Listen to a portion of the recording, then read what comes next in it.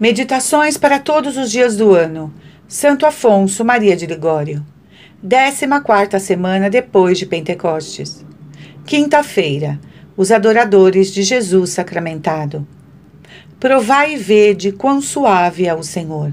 Salmo 33, 9. Sumário. Entre todas as devoções, a devoção de Jesus sacramentado é, sem dúvida, depois da recepção dos sacramentos, a primeira e a mais agradável a Deus e a mais proveitosa para nós. Por isso é que todos os santos ardiam de amor a esta dulcíssima devoção. Não te pese, pois, meu irmão, abraçá-la também, e abreviando tuas conversações com os homens, vai frequentemente entreter-te com Jesus e comunicar-lhe as tuas necessidades. Ganharás talvez mais um quarto de hora de oração diante do Santíssimo Sacramento que em todos os mais exercícios devotos do dia. 1. Um, a fé ensina, e nós somos obrigados a crer, que na hóstia consagrada está realmente Jesus Cristo sob as espécies de pão. Mas devemos ao mesmo tempo estar persuadidos que ele reside em nossos altares, como sobre um trono de amor e misericórdia, para dispensar as suas graças e mostrar-nos o amor que nos consagra. Quantos são, portanto, agradáveis ao coração de Jesus os que o visitam frequentemente e se comprazem em fazer-lhe companhia nas igrejas. Jesus Cristo ordenou a Santa Maria Madalena de Paz que o visitasse trinta e três vezes por dia. E esta esposa tão amada obedecia-lhe fielmente, aproximando-se do altar o mais que podia. Deixemos falar as almas devotas, que vão frequentemente vezes entreter-se como o diviníssimo sacramento, e digam-nos os favores, as luzes, as chamas de amor que ali recebem e o paraíso de que gozam em presença do Deus Eucarístico. O servo de Deus, Padre Luiz Lanusa, famoso missionário, desde jovem e secular, Amava tão ardentemente Jesus Cristo que parecia não poder afastar-se da presença do seu amado Senhor. Sentia ali tantos encantos que, tendo de seu diretor proibido que ali passasse mais de uma hora, a violência que se devia fazer para obedecer e desprender-se de Jesus Cristo era tal que parecia uma criança arrancada ao seio materno. São Luís Gonzaga tinha também recebido proibição de ficar diante do Santíssimo Sacramento. E passando junto do tabernáculo e sentindo-se atraído a ficar, pelos suaves encantos de seu Senhor, violentava-se para se retirar e, na ternura do seu amor, exclamava: Afastai-vos de mim, Senhor, afastai-vos.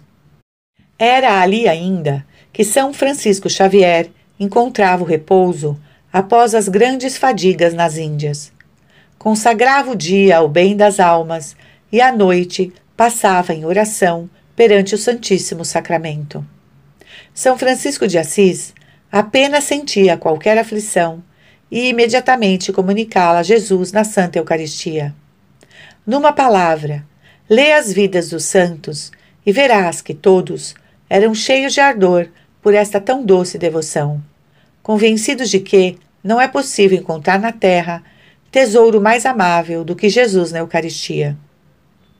2. É incontestável que entre todas devoções, a adoração de Jesus sacramentado é, depois da frequência dos sacramentos, a primeira e mais agradável a Deus e a mais proveitosa para nós. Empenha-te, pois, alma piedosa, em abraçá-la, e desprendendo-te da conversação com os homens, vai passar doravante todos os dias algum tempo, meia hora ou um quarto de hora pelo menos, em qualquer igreja na presença do Santíssimo Sacramento. Saboreia e vê quão suave é o Senhor. Experimente e verás o proveito que te resultará desta prática. Sabe que o tempo que passares diante do Santíssimo Sacramento será o que te alcançará mais vantagens durante a vida e mais consolações à hora da morte e na eternidade.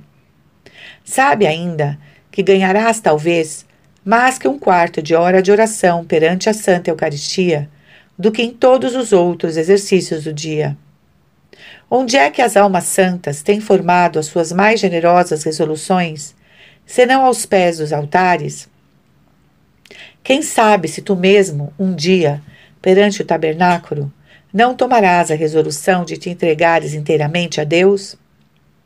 Ó majestade e bondade infinita, vós tanto amais os homens e tendes feito tanto para que os homens vos amem. Como é então que entre os homens se encontrem tão poucos que vos amam? Não quero mais ser do número daqueles ingratos, como tenho sido no passado. Resolvido estou a amar-vos quanto possa, e não amar senão a vós, e a vós provar o meu amor com as minhas frequentes visitas ao vosso Santíssimo Sacramento. Vós o mereceis e mo recomendais com tão grande insistência. Quero contentar-vos Fazei ao Senhor que vos contente plenamente. É o que vos peço pelos merecimentos da vossa paixão. Amo-vos, meu Jesus, amo-vos, bondade infinita. Sois vós toda a minha riqueza, toda a minha delícia, todo o meu amor.